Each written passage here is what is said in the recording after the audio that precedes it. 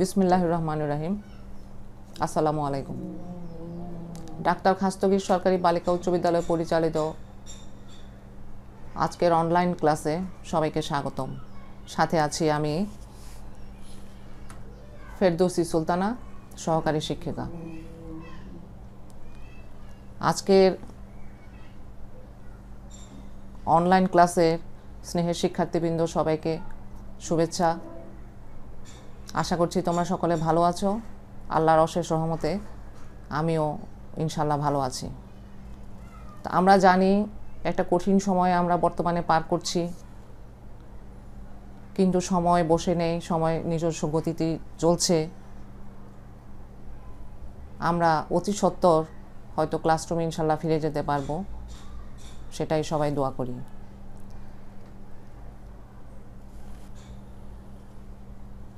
আজকের আমাদের ক্লাস হচ্ছে বাংলা প্রথম পত্র, নবম ও দশম শ্রেণি। আজকের পাঠ হচ্ছে একটা গল্প, নাম আমাটির ভেপু। লিখেছেন বিভূতিভূষণ বন্দ্যোপাধ্যায়। তো ভেপু মানে বাঁশি, সে আমরা সবাই জানি, কিন্তু আমের আঁটির বাঁশি হয় কেমনে? আমরা হয়তো কোনো দিন দেখিনি। অথচ আজ থেকে অনেক আগে। এটাই ছিল তোমাদের বয়সী কিশোর কিশোরীদের বিনোদনের অনুষঙ্গ। এখন আমাদের জানতে হবে, এটা কীভাবে তৈরি করা হয়?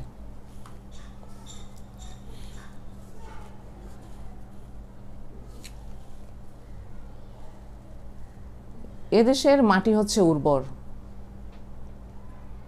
আম, জাম, কাঁঠাল প্রচুর উৎপাদন হয়। কাঁঠাল বিচি তো রান্না করে খাওয়ার জন্য যত্ন করে আমরা রেখে দিচ্ছি। আর আম খেয়ে আমের আটিটা ছুঁড়ে ফেলে দেওয়া হচ্ছে ঝোপঝাড়ে। বেশ, গজি উঠছে গাছ, আমের চারা। ফুট খানেক লম্বা হয়েছে কি হয়নি? এরকম একটা আমের চারা উপড়ে ফেল, উপড়ে ফেললে শেকড় বাকড় সহ উঠে আসতো। তার সঙ্গে তখনও রয়ে গেছে সেই মাতা আঁটিটা। সেই আঁটির শক্ত বাকলটা সরালে ভেতরে নরম সবুজ দুটো বীজপত্র। সেটাকে ঘষতে হতো দেয়ালে বা গাছের গায়ে। একটা পাশ যখন ক্ষয়ে যেত, তখন বাঁশি প্রস্তুত। ওটাতে ফু দিলেই পো পো করে বেজে উঠল বাঁশি। এই হচ্ছে সেই বিভূতিভূষণের আমের আঁটির বাঁশি বা আমের আঁটির ভেপু। এখন আমরা একটু জানি, লেখক বিভূতিভূষণ সম্পর্কে।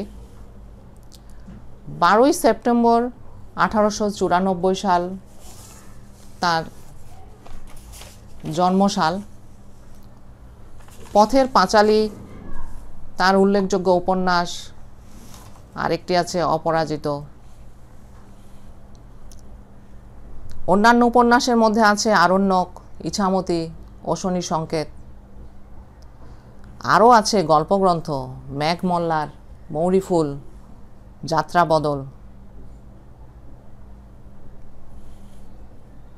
গ্রাম বাংলার প্রকৃতির সৌন্দর্যকে সাধারণ মানুষের জীবনের সাথে এত সুন্দরভাবে তার উপন্যাসে ফুটিয়ে তুলেছেন, আমাদের মনকে আকর্ষণ করে।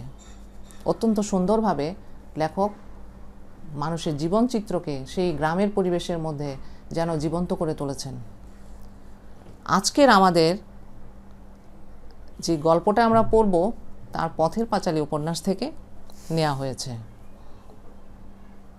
আর এখানে আমরা গল্পটা পড়ার পরে আমরা জানব সাধারণ মানুষের জীবনের সাথে প্রকৃতির রূপবৈচিত্র্য যেন একত্রিত হয়ে মিশে আছে। দুজন গ্রাম্য বালকের জীবনচিত্র লেখক অত্যন্ত সুন্দরভাবে, এমন সুন্দরভাবে ফুটিয়ে তুলেছেন যেন মনে হয় যেন আমরা আমাদের শৈশবেই ফিরে গেছি। এবার দেখি গল্পের মধ্যে কি আছে। আ মাটির ভেপু গল্পের দুজন। একজন হচ্ছে অপু আর একজন দুর্গা দুই ভাই বোনের যাপিত জীবনের যে গল্প, যা আমাদের মনকে আকর্ষণ করে। দুর্গার বয়স দশ এগারো বৎসর। হাতে কাঁচের চুড়ি, পরনে ময়লা কাপড়, মাথায় রুক্ষ চুল ছোটো ভাই অপুর মতো চোখগুলো বেশ ডাগর। তাদের বাবার নাম হরিহর, মা সর্বজয়া। অপুর আছে একটি ছোট টিনের বাক্স। তাও আবার ডালা ভাঙা। এটি অপুর সম্পত্তি। সেই বাক্সের মধ্যে আছে একটি রং ওঠা কাঠের ঘোড়া, চার পয়সা দামের একটি ভেপুবাসি, কড়ি, একটি দু পয়সা দামের পিস্তল, কতগুলো শুকনো নাটা ফল, খান কত খাপড়ার কুচি। খাপড়ার কুচি মানে হচ্ছে কলসি, হাঁড়ি প্রভৃতির ভাঙা টুকরো। অপু এগুলো নিয়ে আনমনে খেলা করে।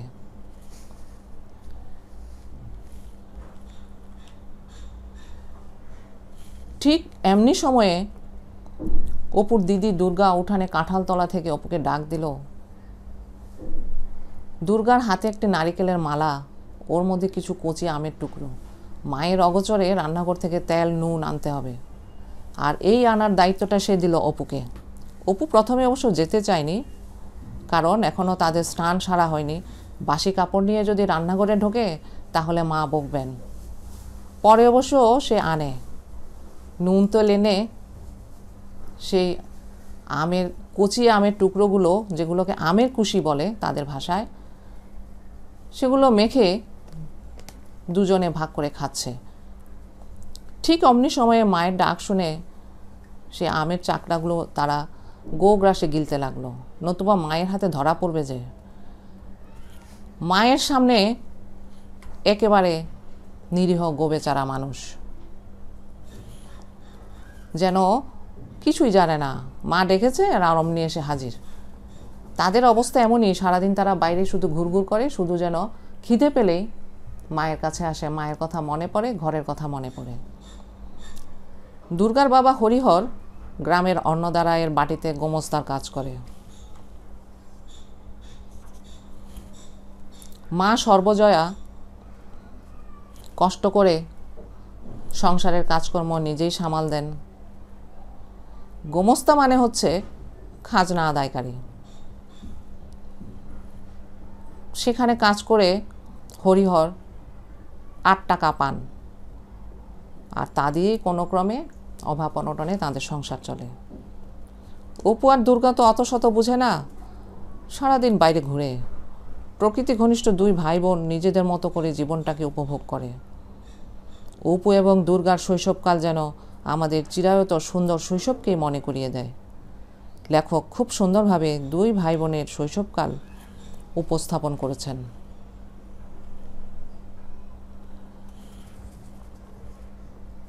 আমি তো গল্পের মূল কথাটা বললাম, এখন তোমাদের কাজ হচ্ছে গল্পটা পুরোটুকু পড়ে নেওয়া তোমরা সামনে কিন্তু বই নিয়েই বসবে। যাতে পড়ার সাথে সাথে তোমরা পাঠ্য বই থেকে গল্পটা পড়ে নিতে পারো। এবার দেখি কিছু শব্দার্থ আমরা দেখে নেই। রোয়াক হচ্ছে বারান্দা, চুপড়ি মানে হচ্ছে ছোট ঝুড়ি, আমের কুশি মানে হচ্ছে কচি আম। বনবিছুটি হচ্ছে বুনো গাছ আর গড়াদ অর্থ জানালার শিক। আর গল্পের মর্মার্থ যদি আমরা বুঝতে চাই, তাহলে সেখানে দেখি সহজ সরল ভাষায় লেখক বিভূতিভূষণ বাংলাদেশের গ্রামের চিরায়ত গল্প আমাদের সামনে তুলে ধরেছেন। তার বলার ঢঙে কোনো অতিরঞ্জন নেই অতিকথনও নেই। এই গল্প সব মানুষের আমাদের বাংলাদেশের সব মানুষের সোনালি শৈশবের গল্প। অপু এবং দুর্গার প্রকৃতি ঘনিষ্ঠ, আনন্দিত জীবনের গল্প আমাদের সকলের ছোটবেলার কথাই যেন নতুন করে মনে করিয়ে দেয়।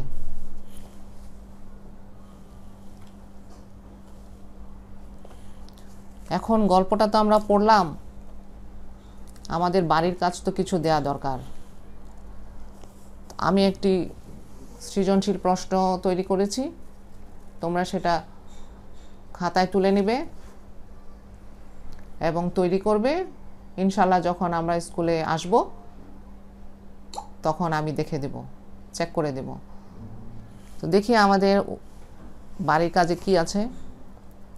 রতন তৃতীয় শ্রেণীতে পড়ে। শহরে মা বাবার সাথে ভাড়া বাসায় থাকে। দালান কোঠার ভিড়ে খেলার মাঠ এক প্রকার নেই বললেই চলে।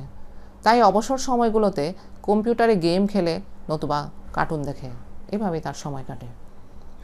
এখন এখান থেকে ক নাম্বারের প্রশ্ন লিখবে, আমের কুশি অর্থ কী? সে তো আমরা একটু আগে জেনেছি, কুচি আমকে আমের কুশি বলে। মায়ের ডাক কানে গেলেও দুর্গার উত্তর দেওয়ার সুযোগ হচ্ছিল না কেন? নিশ্চয়ই বই থেকে তোমরা এটা বের করতে পারবে। তার মুখে সেই আমের চাকলাগুলো ছিল, যার কারণে সে উত্তর দিতে পারছিল না। উদ্দীপকে রতনের সাথে আমাটির ভেপু গল্পের অপু চরিত্রের বৈসাদৃশ্য তুলে ধরো। সেও তোমরা পারবে। এখানে রতন ইট কাঠ পাথরের দালান কোঠায় থাকে। আর অপু এবং দুর্গা হচ্ছে সেই গ্রামের সুন্দর পরিবেশে বড় হচ্ছে। সুতরাং এই বৈসাদৃশ্য কি কি পাচ্ছ? তা তুলে ধরবে। রতনের সাথে অপুর চরিত্রের যে বৈসাদৃশ্য আছে। ঘ নাম্বারে আমরা পাচ্ছি রতনকে অপুর মতো প্রকৃতির পরিবেশে বেড়ে উঠতে দেওয়ার জন্য আমাদের করণীয় কি হতে পারে? আ মাটির ভেপু গল্পের আলোকে আলোচনা করো। এটা সম্পূর্ণ তোমার নিজের অবস্থান থেকে আমরা এখানে কি কি দেখছি? রতন শহরে দালান কোঠায় থেকে কি পাচ্ছে না? আর অপু গ্রামের পরিবেশে থেকে কি পাচ্ছে? ওটা যদি একটু তুলনা করতে পারো, তাহলে রতনকে অপুর মতো অবস্থানে যাওয়ার জন্য আমাদের প্রকৃতির পরিবেশে কি কি পরিবর্তন আনতে হতে পারে? কীভাবে আমরা রতনকে সেই পরিবেশটা দিতে পারি? তাই আমাদেরকে এখানে উল্লেখ করতে হবে। আশা করি তোমরা বুঝবে এবং অত্যন্ত সুন্দরভাবে প্রশ্নের উত্তরগুলো লিপিবদ্ধ করতে পারবে। তো আজ এত দূরে রইল, হয়তো পরবর্তীতে আর কোনো ক্লাস নিয়ে ইনশাল্লাহ হাজির হব।